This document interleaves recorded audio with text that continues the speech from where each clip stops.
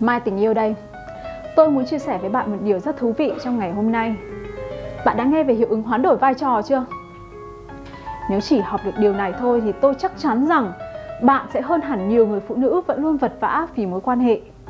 Nhưng đầu tiên thì tôi cần phải kể với bạn rằng tôi đã khám phá nó ra như thế nào. Đó là một ngày rất là đẹp trời. Khi mà tôi đang nói chuyện với một khách hàng nữ của mình Thì cô ấy nói với tôi trong một cái sự hối hận muộn màng bởi vì cô ấy đã trao thân quá sớm cho một anh chàng. Và cô ấy sợ rằng anh ấy sẽ chán mình. Và khi cô ấy đang buồn bã, kể lể kể lể, khóc lóc với tôi, thì có một luồng suy nghĩ xẹt qua tôi mạnh như một tia lửa điện.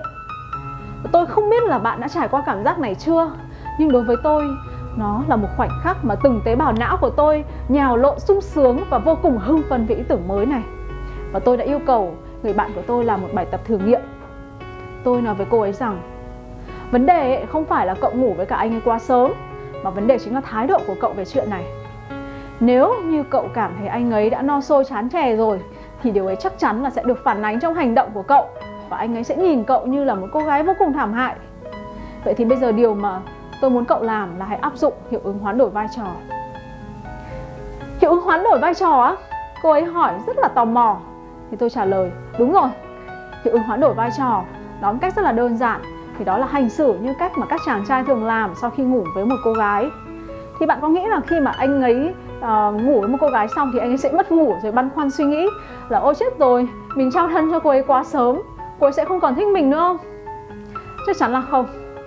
Tôi đã đề nghị cô ấy áp dụng cách mà hầu hết các chàng trai thường làm sau khi lên giường với một cô gái. Đó là hành xử thật bình tĩnh bình thường thậm chí còn hơi xa cách. Tôi cũng cho cô ấy một vài câu nói ở trong thần chú mê đắm để dùng một cách chính xác và khi gặp anh ấy. Thì vài ngày sau đó, cô ấy đã nghe theo lời khuyên của tôi và khi kể lại cho tôi, thì cô ấy không khỏi ngạc nhiên rằng chàng trai đó lại sốt sắng vì cô ấy. Anh ta còn lo sợ rằng mình đã không thể thỏa mãn được cô ấy ở trên giường. Vậy thì hãy học cách áp dụng hiệu ứng hoán đổi vai trò này trong nhiều tình huống tương tự và hãy xem mối quan hệ của bạn sẽ nở hoa như thế nào. Hãy bình luận ở dưới đây cho tôi biết rằng bạn có quyết tâm thực hiện hiệu ứng hoán đổi vai trò hay không?